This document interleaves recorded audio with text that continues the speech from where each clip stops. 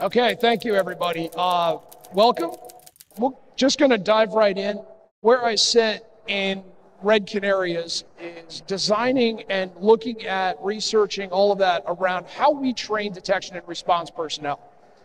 And this, what I'm going to kind of present today, is just some thoughts uh, on kind of a path forward to really do two things really enhance IR capability, but also I, I'm seeing, detecting this kind of siloed approach to security. Obviously, it's something that we've had to deal with for quite a while and breaking those silos down.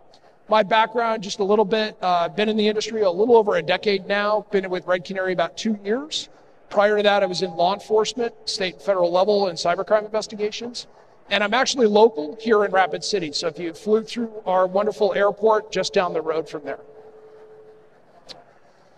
This is kind of what we're going to discuss. I'm going to look at the current situation, both on a blue team side and a red team side.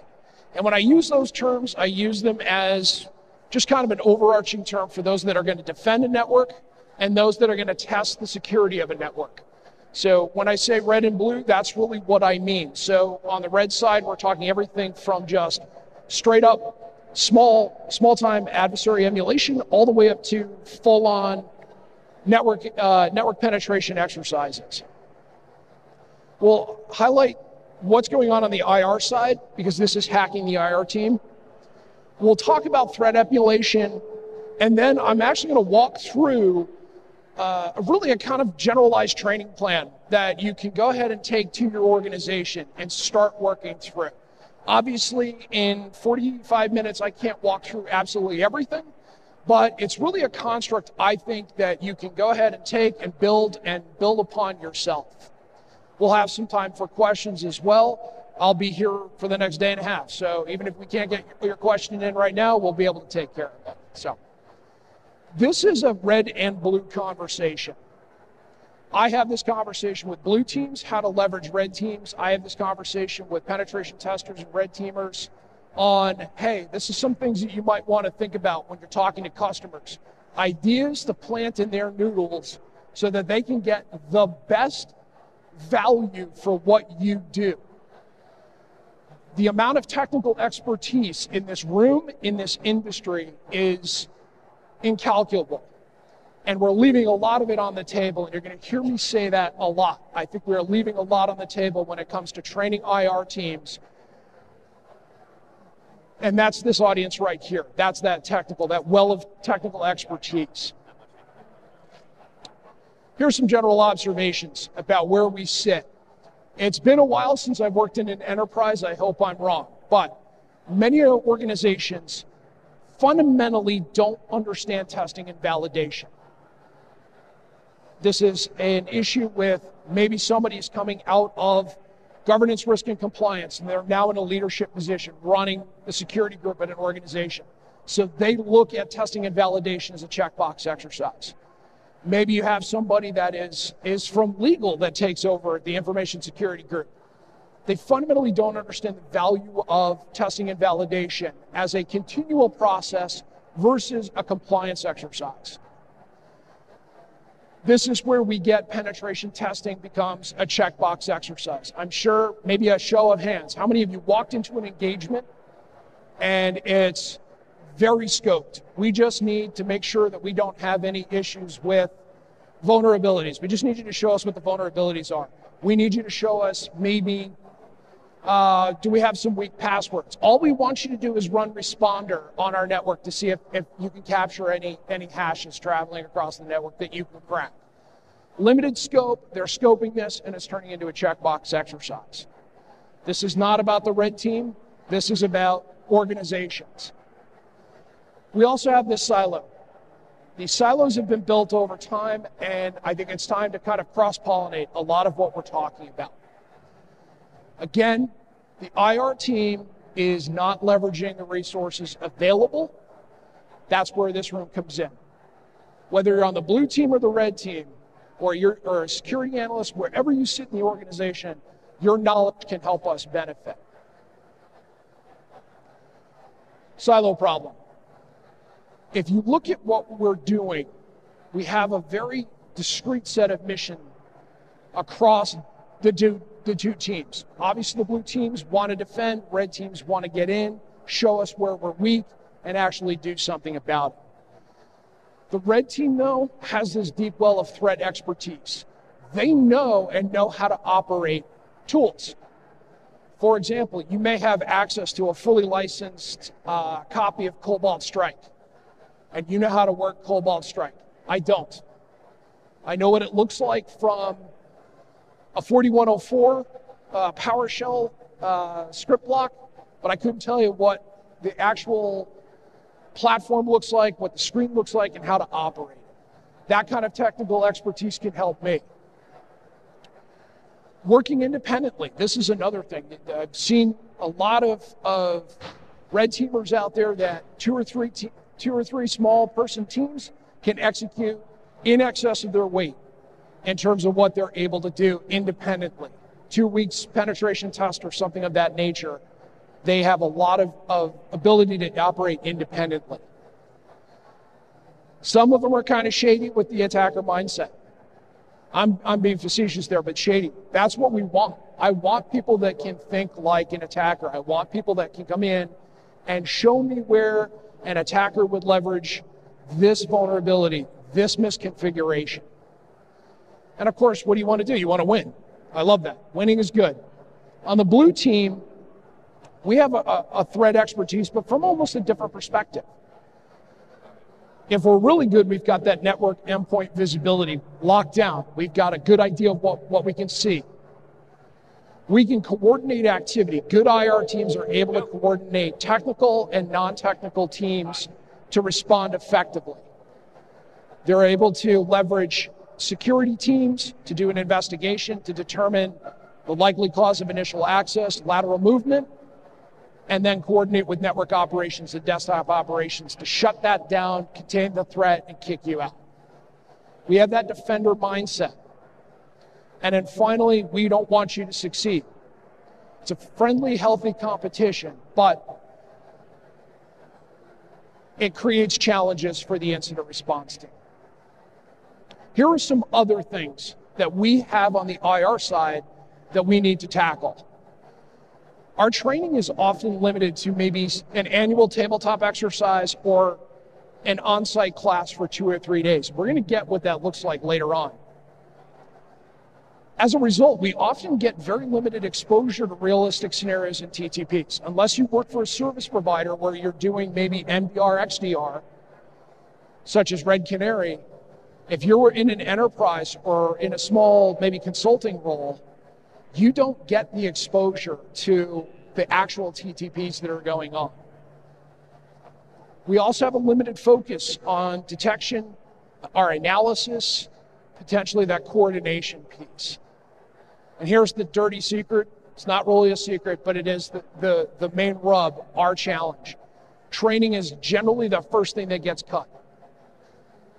We've got to get on the got to get on a plane. That's a thousand dollars. We got to put you up a hotel for four or five days. That's another thousand dollars. We got to spend seventy five hundred dollars for a training class. We're reaching into five figures real quick. And if I got a team of five to ten, I'm looking at fifty to hundred thousand dollar training budget. Market starts to get soft. That's the first thing that gets cut. On the flip side, we also have some limits to what we've done to penetration testing. This is often driven by operational needs of our customers, of the of uh, who we're actually providing to. So we'll we'll do an annual pen test, really, once a year, two weeks, defined scope, produces limited value. I'm boxing you in. If I'm if I'm an enterprise ISO or a security officer, I may be boxing you in with a limited. This turns into a governance risk and compliance issue. We're trying to check that box, whether it's PCI, HITECH, CMMC, whatever the compliance framework is. Hey, I got a pen test report from, you know, company X. That's fine. Great. You passed. Doesn't matter what's in the report. Doesn't matter that all, all we did was to make sure that you can't get in from the enterprise into the PCI environment. No real value. Oftentimes, you can't even have your own internal team. Sometimes there's requirements that you have to hire outside. How many of you have actually seen the same vulnerability and exploits year after year after year? Company takes it, they look at the report, and they're like, yeah, I understand. And they set it aside. As a result, customers are seeing limited value, but this is often a self inflicted wound. They're not actually doing everything they can to gain the value of what the red team can bring to the overall table. And that's what we're going to really do is get rid of that, is to show that there's actual value, much more value with all of that technical expertise. Let's get out of this GRC mindset and into something a little bit more productive. So this is where we move from a red team engagement or a straight up compliance penetration test into a purple team exercise. Purple team exercise is that red on blue. It's a little bit more complicated, I understand that. But if we move out of a modality of annually, we can get rid of some of these issues. The scoping and coordination, that cost intensive, that dollar figure that we got to put on there. Here's the other thing delving right in that from that compliance exercise into a full-on purple team exercise, most organizations are, are just going to fall flat on their face. So presenting a solution of the best of both worlds is really what we want to do here. I think it's important though to look at the history of where purple teaming came from, this red on blue paradigm. So if we go back in the Wayback Machine to, to the late 19th century in Prussia, which is now present day Germany, the Prussians were the preeminent military power of their day. And one of the first to have a truly professional officer corps. And what they did is they used to use a concept called Kriegspiel or wargaming. And essentially what they would do is they would basically put pull out the pre-risk board and move various elements on that board to get practice at things like communication, operational efficiency, logistics. Now, the Prussians wore blue uniforms. So their side would always be presented as blue. Whomever they were fighting, the British, the French, maybe the Russians, would always be red hence red and blue. The US military adopted this in the late 1960s. The US Air Force and the US Navy conduct purple team exercises. They don't call them purple team exercises, but what that's what they do at Top Gun, Black, uh, Red Flag. These are all exercises that pit a dedicated red team that follows current threat or adversary activity and then they rotate their teams in to train against a live opponent. Same thing out in the Mojave Desert. The National Training Center is the U.S. Army's equivalent to this, is there is a permanent force there called Krasnovia. It's a made-up country, but they mimic or emulate the actual tactics and techniques of Eastern European or now Middle Eastern threat actors.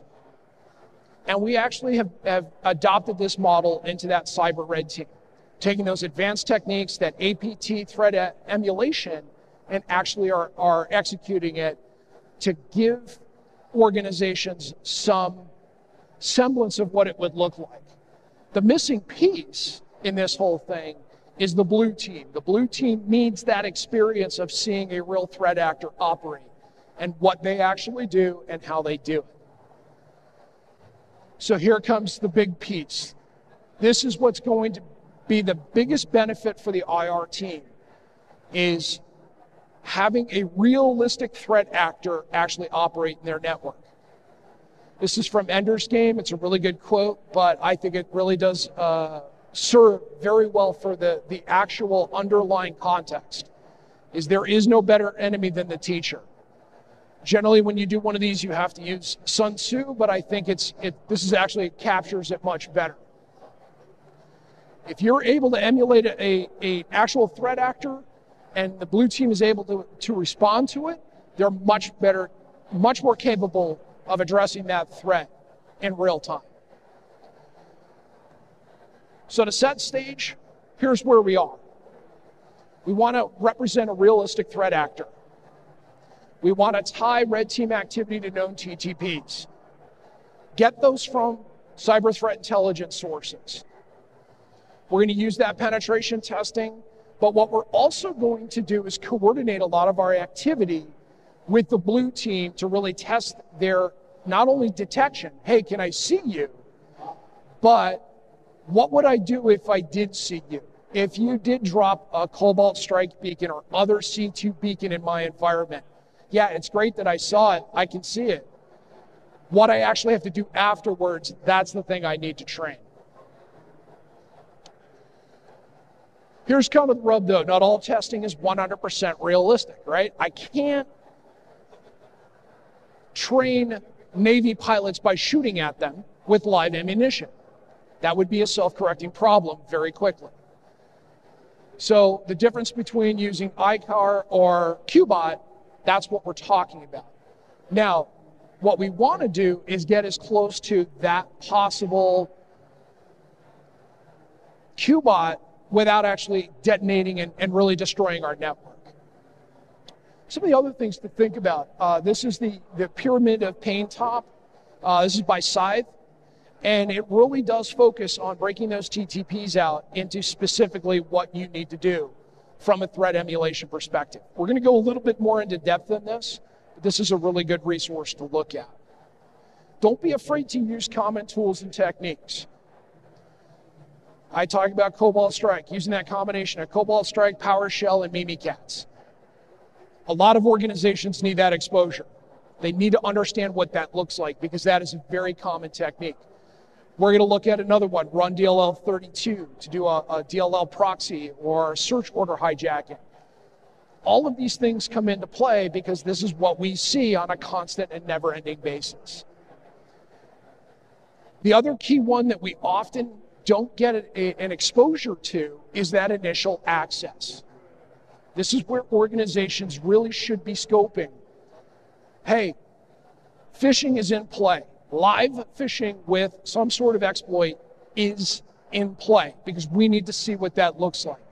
Because our ESA may not pick it up, and our analysts need to be able to analyze an endpoint to see if any of that data, any of those artifacts are going to lead us down the road of identifying our initial access vector. Again, start simple. We're going to talk about a program that actually builds that simplicity. Here's the other big thing is a continual operational tempo. We're going to move from this two week exercise into doing this throughout the year. And there's a reason we want to do it that way. And I'll get to that. I also want to push all of that red, red team experience, not just on the technical end. I want to get it all the way into our planning and preparation. We're building workbooks and playbook, uh, playbooks workflows, the IR plan, all of that. That this is where that expertise comes in really handy. Again, that threat expertise and that ability to, to emulate a threat actor or even just an attacker mindset gets us to a much better place up and down what the incident response team does. So this is kind of the model we're going to look at we balance realism and cost. I can make, say, with a million dollars, something that will really do very well at getting almost to a real incident. I'm just throwing numbers out here, but you get my drift. Really, what we want to focus on is a lot of these lower level things. What can we do from a daily, weekly, monthly training plan? So I talked about that continual op tempo. For the IR team and training, this is really where we need to be. We need to hit the four R's with our training. It needs to be realistic. We've spent a lot of time talking about how the red team can provide us a realistic opportunity to see threat actor behavior in real time. It needs to be relevant. And that means we're using the top 20 detections out of the threat detection report or Mandiant M trends, some sort of threat intelligence. What is the enemy doing? Can we replicate what the enemy is doing and actually execute? Needs to be recent. Here's a really good thing about, especially on the blue team, training is like bananas. It's really good, but it goes bad very quickly.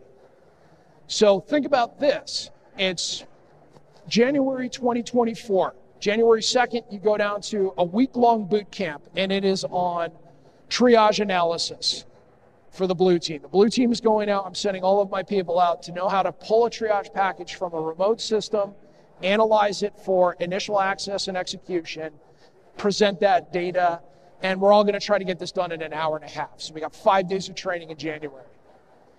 If I don't drill that team and it is now October 19th, 10 months have gone by.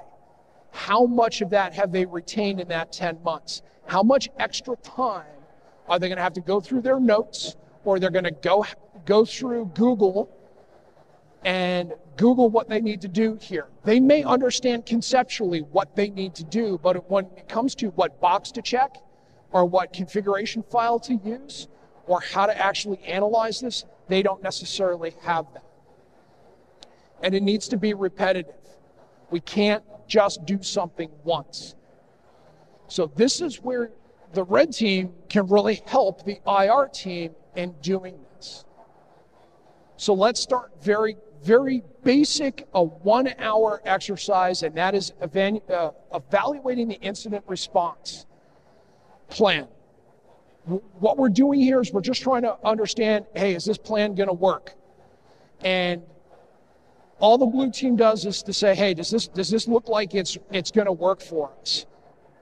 So one of the things that the red team can help us do, if I had two or three people on the red team, is say, hey, evaluate this. Maybe we conduct a pre-mortem analysis. This is something that we recently dropped uh, a Red Canary blog on pre-mortem analysis. This is where we actually anticipate what a threat actor would do that could really derail our plans. So, for example, if your incident response plan turns to the business continuity or disaster recovery plan to reconstitute system from backup, and the red team identifies, hey, um, these are online backups, and they're just basically flat files that are sitting on a, on a data lake that you pull from. Anybody with access to this could encrypt those as well that leads us to actually think about what actually is going to, going to happen there. So it's that technical adversary, technical slash adversary mindset that I want to leverage to look at an IR plan. So if you're on the blue team or your blue team manager, loop your IR, uh, your IR team in with the red team to evaluate your incident response plan. If you're on the red team, ask, hey, as part of our review, do you want us to go through your incident response plan, see where there's some technical issues, things that threat actors can actually do? This is the, the blog post if you want to look at a uh, IR pre-mortem analysis.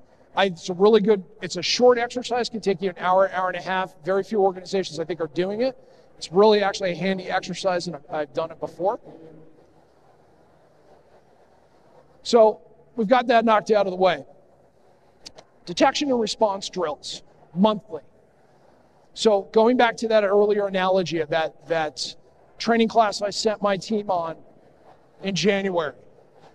Let's say I break it out and I say, hey, I'm going to have the red team come in once a month. They're going to have an email, they're going to send it to a testing endpoint, and they're going to try a new initial access vector and execution. They're going to execute something on an endpoint or multiple endpoints against our network. Your job as the blue team is to actually go out there and pull a triage package and find out what happened. So this is where micro emulation comes in. This is where you can use very discrete techniques that don't necessarily encompass an entire kill chain, but maybe focus on one or two techniques. So in this case, maybe you get on an endpoint and you're going to try rundll32, and maybe you're going to execute a DLL file.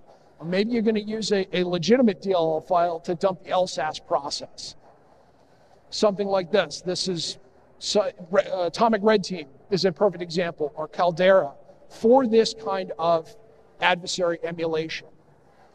Why the red team is good at this is they have most likely the expertise, access to the tools, and the technical knowledge to actually execute these.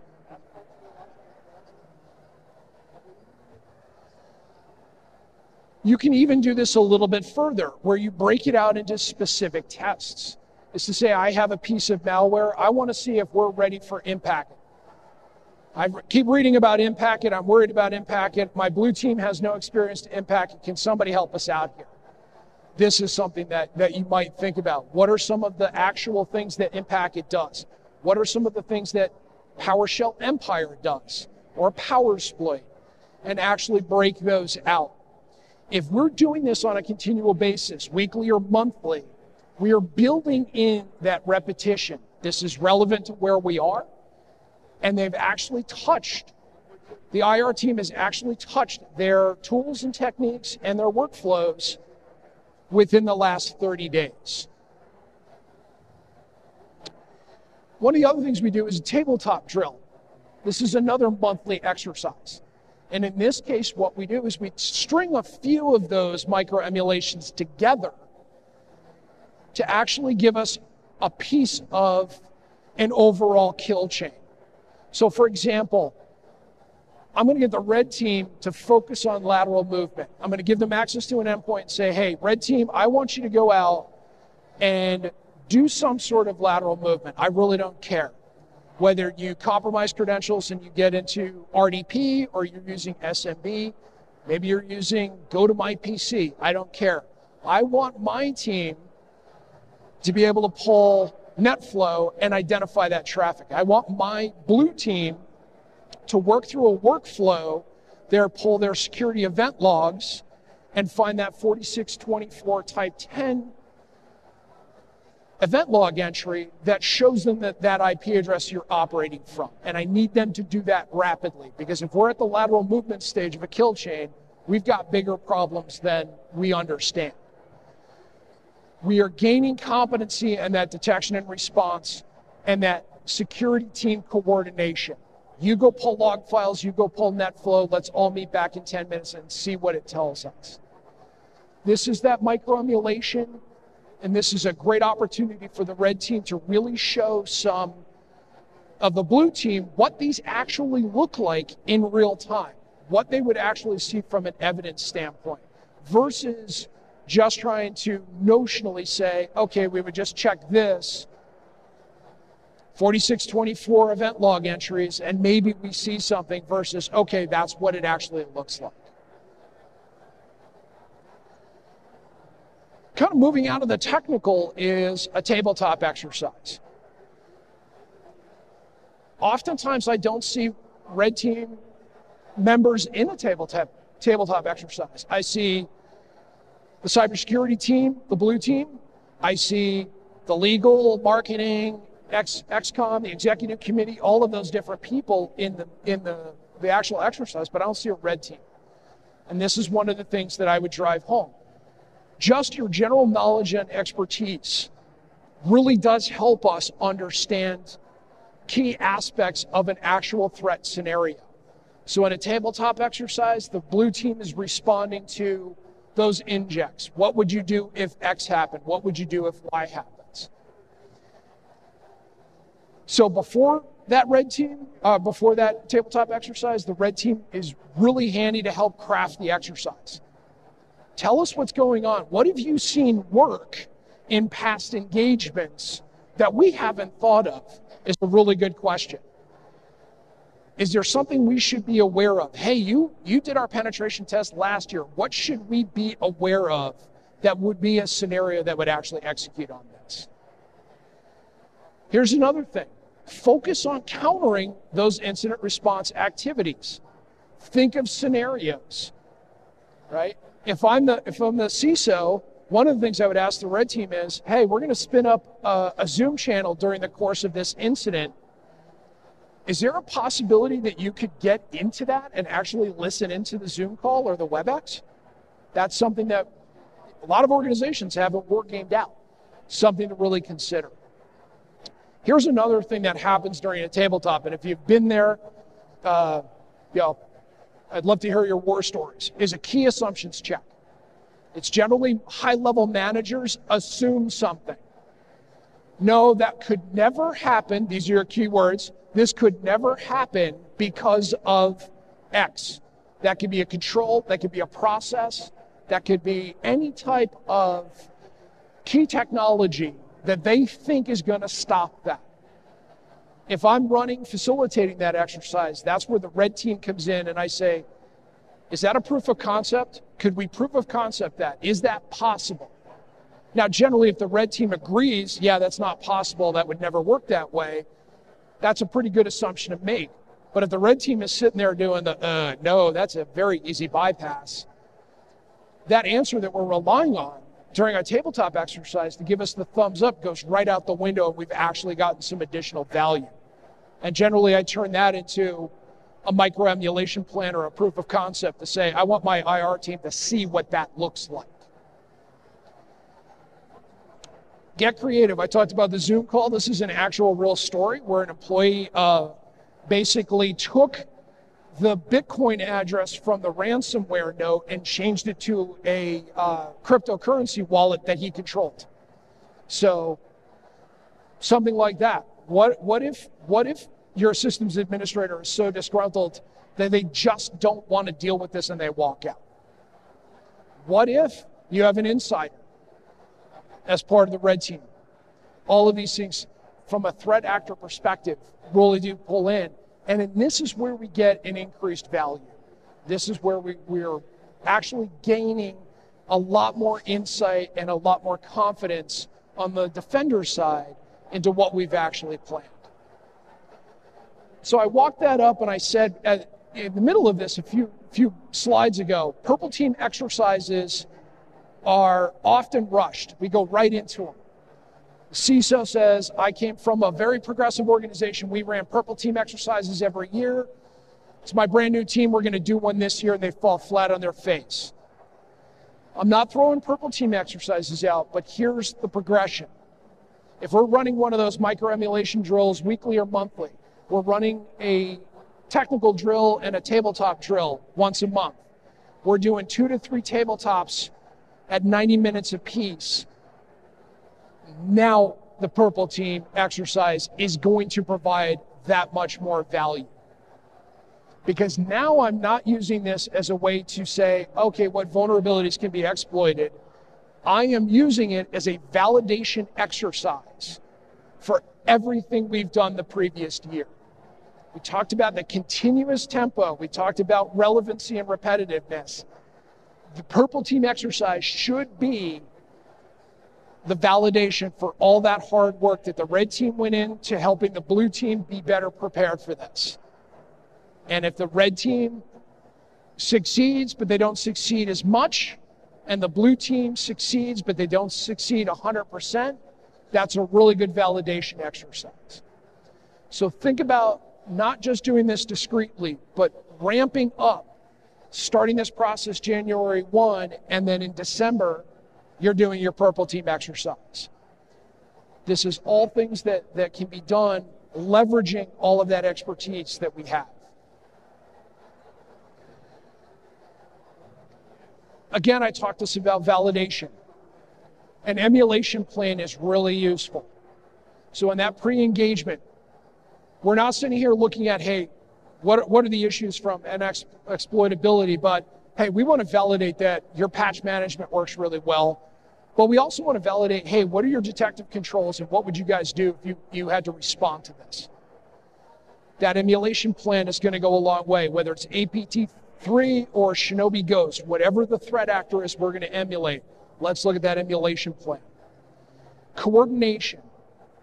So we need umpires calling balls and strikes. All right, not coaches. I don't want to be facilitating, and I've had to do this a few times. Purple team, where the blue team will say, Well, what are they doing? It's like, that's not my job. I'm not here to tell you what signs mean what. I'm here to say, This is what they've executed. You haven't found it yet. Or, No, that's not exactly what they're doing. During the engagement, execute and respond like an adversary. The other key learning point, the final learning point after all of this year long workup, capture insight from both sides. I'd love, as say a defender, to hear the red team say, We were frustrated at every turn. That doesn't happen. There's, they might come back and say, Hey, we got in initial access, we were able to execute a number of tools. We were in the discovery process of finding where your files are, and somebody did something. You know, isolated one of our endpoints, blocked our communications channel, so we had to shift. The blue side may say, hey, we didn't see anything until somebody said that it seemed like there was a weird mouse cursor on their desktop. And that was the only thing that we saw from uh, a detection perspective. Capture those insights because that's going to help us move into the next year's training. Here are some ancillary benefits. A lot of this has been about very selfishly, like, hey, how do we improve IR teams? How do we improve overall security? Better coordination between these teams. Even if you're a service provider, right? Think about maybe retained hours. If you're a consultant, retaining those hours and say, what I want you to do is budget 100 hours for our purple team exercise per, per individual, but I also want you to budget 20 hours throughout the year where we're going to help you with your IR plan, all of the, the tabletop drills, maybe some micro emulations once a month to really start getting that IR team exposed to realistic threat actor activity. Here's the other thing cross training and experience. This doesn't mean you can't sit right next to each other, physically or virtually, doing these things. Because the blue team, one of the true deficiencies that we have, incident responders and defenders, is not actually seeing both sides of an attack. We often see the results of an attack versus you implanting a backdoor, you dropping malware and executing it. We see all of the trace evidence of that. But sitting side by side, we're getting across training and experience. The red team may pick up and say, hey, that's pretty slick that the blue team can automatically isolate an endpoint. We need to focus on not getting caught we need to focus on EDR bypassing. Here's another ancillary benefit for the IR team better confidence and capability across the board. Getting that exposure to constant, realistic threat actor activity builds confidence in our capability. And this really does show a much better governance, risk, and compliance effort versus, yeah, we had a company come in and do a perfunctory pen test for us and that's the way it is. Here's the big thing from your perspective, as customers, they see that increased value. This is going to be something, it's not about pulling the red team or the blue team together. It's about pulling our customers, our cl- clients, our organizations, our leadership to understand that there's much more value in combining these efforts across the year, across all of these different training modalities to build better teams. And with that, I'm going to open it up to questions. If, yeah, if there are any questions, questions, we'll bring a microphone out to you if you want to raise your hand. Any questions out there for Gerard? Going once, going twice. I'll, I'll be at the. Oh, we got one all the way back. Oh, okay. Right. Hold on one moment here.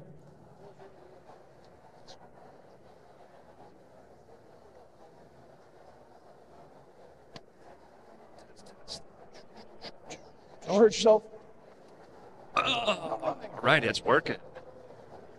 Right here. All right, here comes the Buffalo Mike.